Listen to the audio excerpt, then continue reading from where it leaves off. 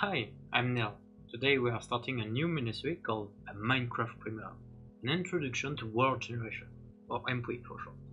In this series we are going to explain how Minecraft worlds are generated. To do so we are going to slice it in multiple episodes.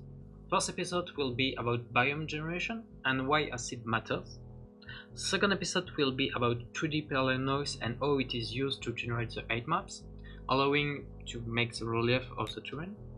Third episode will be about how ravine, caves and some structure like Nether Fortress and Mineshaft are generated, so it will be mostly about recursion. Fourth episode will be about structure position and lattices, and we will end with chunk population. Of course, if we have more time, we'll talk about some other topic, but for now I consider that enough to get you started on understanding how a Minecraft world is truly generated. Yeah, let's roll the intro!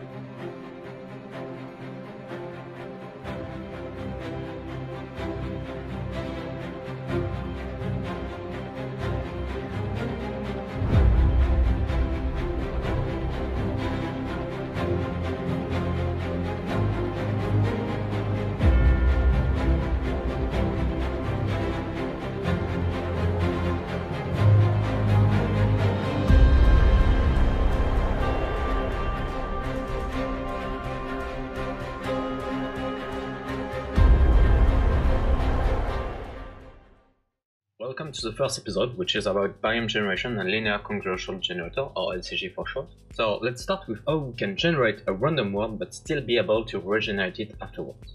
It seems quite obvious, since we are used to program to behave the same way if you do the same action. Let's take for instance your OS. You know it will maybe finish an update, but it will end up on the logging screen for you to type your password or select your profile, no? But why is that? Well, a computer is deterministic, which means that for a given set of input, it will always give, by some program or algorithm, the same output or set of outputs. In fact, engineers worked hard on making sure a computer is deterministic, else we would have some trouble.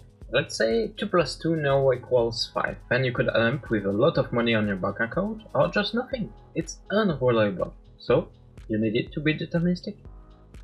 Let's go back to Minecraft. How come that if you create a new world randomly, then log in, play a little, maybe build a house, and log out? So next time you log in, it will know how to give you back your inventory of items, your house, and so on? How is that? Well, you are going to respond, eh, easy, it just save everything to a file. And I will say, yeah, you're right. But no, how can it know how to keep generated the mountain it partially generated when it doesn't have it saved in memory? In fact, how can it generate the whole world you are in? I mean, we all know there is potentially an infinite number of worlds in Minecraft, and the game is quite lightweight compared to other AAA titles now. Well, all worlds are determined from one number, a seed. That seed is a 64 bits number, which means it can reach up to 18 quintillion 446 quadrillion 744 trillion 73 billion 709 million 551,616 on Java Edition, but since its sign, it reached from negative half of that previous number to positive the upper half. So now I can debunk a few white lies I told. There is not an infinite number of words, only the number we can make out of a 64-bit seed.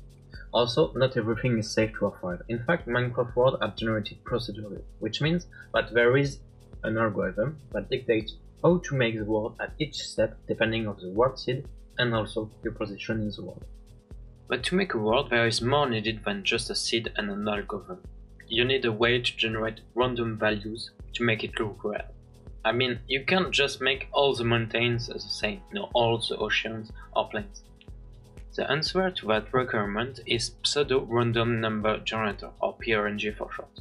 Like I said, a computer is deterministic, so you can't generate random values like that. You either need special hardware to get it from your environment, like radiation or cosmic particles, or you need a way to make it so it look like random if you don't look too closely. And since not everyone has the hardware, the software solution is the easiest. In Java, our PRNG is a linear congruential generator or LCG, which means that it uses a linear equation modulus some number to give a new number. The issue with those generators is that they are cyclics, which means that at some point you will have covered every number of the period of the PRNG and you will end up at the beginning. And since computers are deterministic and we do use the same algorithm, then it will give back the same number as the one at the beginning. To achieve true randomness, we need to avoid at maximum the repetition, so we need a large period for our PRNG. But sadly, Java LCG is quite bad at it. Nonetheless, Minecraft achieved to make world look random thanks to its algorithm.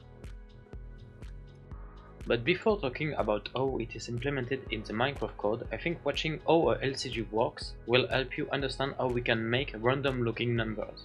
So here is the next method used by the Java LCG to update the seed and take a value of it, which then can be used to generate different size of number or types like int, long, double, float, boolean, and so on.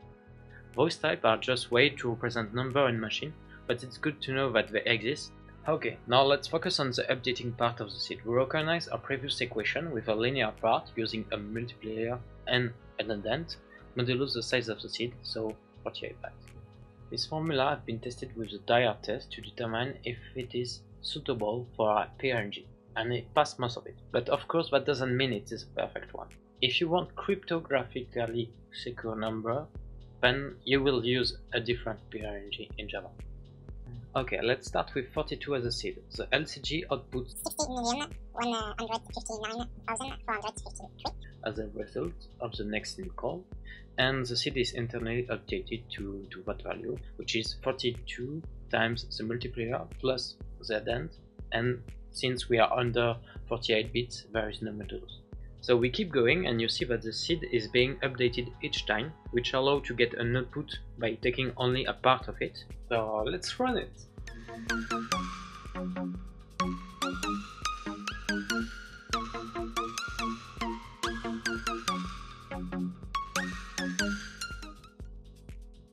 So far it seems quite random, isn't it? Yeah, it's quite random when you look at small samples, but once we do a lot of calls, we need to worry about possible repetition. Also, if you remember, I said there were 2 to the power of 64 seeds, but the Java LCG only give 48-bit seed. Does that mean that for one seed, there is 2 to the power of 16 identical one? Well, not at all. And that's because the biome selection part is done with another LCG in the biome generation code.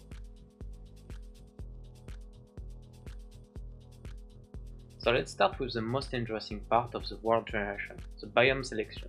It is crucial to the rest of the process since from it depends the relief, the cave generation, the structure position, the chunk population, the weather and so on. So now if we look quickly at the output of the biome gen with Amidst, we can see for a set seed that some biomes are packed and that's due to condition on the temperature. So we have kind of a, a continuation between biomes but overall it looks enough random to be sure to not have the same biomes in front of your eyes every time you go in a Minecraft world. So that's all looking fancy and stuff, but where is the explanation to how biome gen works, Neil? Well, I was gonna come to it before you asked. So biome gen code is only that? Well, not exactly. That's how layers are instantiated. In fact, look at the graph on the right. It's surely more easy to follow. Let's break it down. The first 18 layers are the easiest one, since they put it in place the continent and the ocean and make the simple biome come to life. I have made a really simple example out of that 1k by 1k area, as you can see. So now we can observe how it is truly generated. First part we need to create continent and ocean. To do so, we simply put on one tenth of the map some island as plain biomes and the rest will be ocean. You might notice it looks quite big. In fact, it is crucial to maintain a smooth generation on the wall map and also give more randomness to work on while we go down to the 1k by 1k area. This layer is for instance 1 to 4096. Now we can zoom for the first time. A zoom layer allows to reduce the scale but also to mix the randomness we had previously by selecting only some of the elements. On that layer that doesn't affect it much, since we had only two elements before. Like you saw on the layer 0, we didn't really create continents, it was more like islands. But now we need to create more land. The zoom help a bit, but we still need way more land. So we'll add more plain by converting some ocean on that layer. And we also can create forest with that layer, but it's not used quite now, it will be used later. So we do a quick zoom, then we do 3 times add island to add more land, and so we are at uh, scale 1 to 124.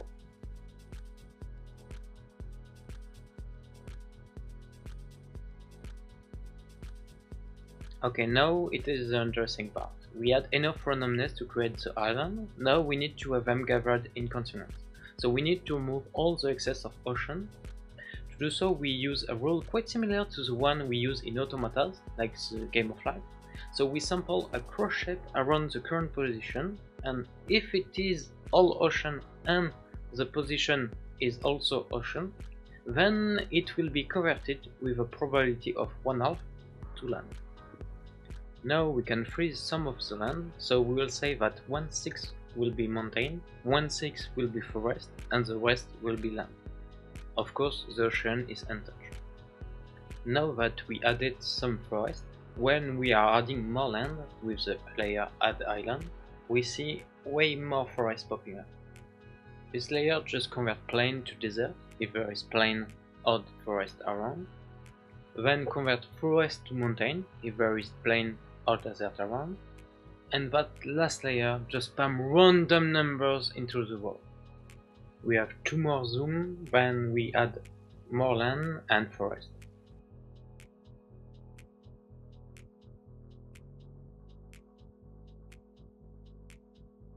Now we try to make a mushroom island. It will not appear here since there was none in the proximity. But it will be like earlier. We sample an area in a diagonal cross this time, and if there is ocean everywhere, then a mushroom island can appear with a chance of 100. For ocean we again do the sampling using the normal cross, and if the position are all ocean, then it is converted to deep ocean. Okay, now that we reach the end of the first stack, we can already see what kind of big map of the world we will have. But of course, each dot aren't to scale 1 to 1, so we'll need to refine it, but it gives an idea of what to expect on a bigger scale. If you have listened to the first part, you notice that the LCG gave quite some good results overall, since it looked quite random.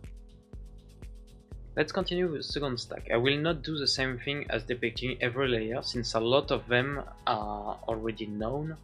I will just go over what it looked like in the river branch and how it looked like in the biome one.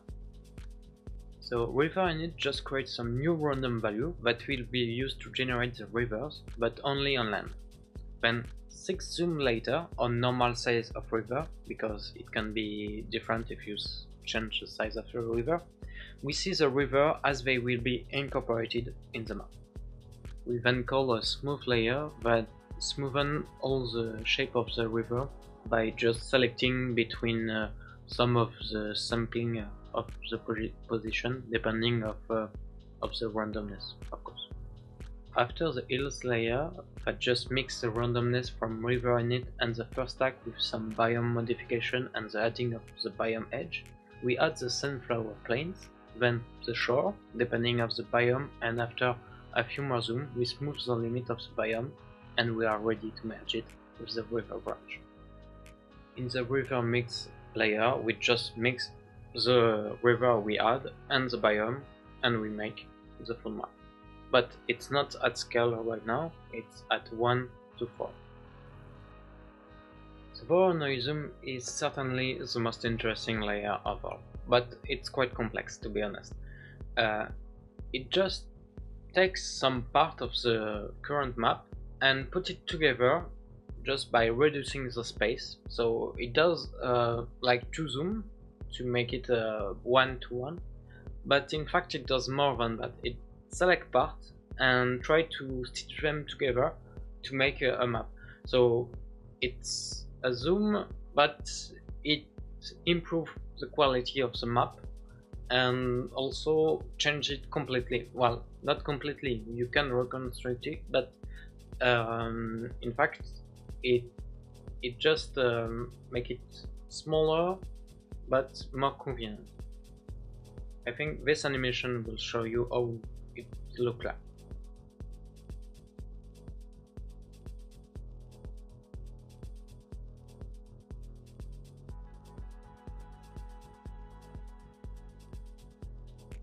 Okay, I think we are done with the second stack and so with the biome generation.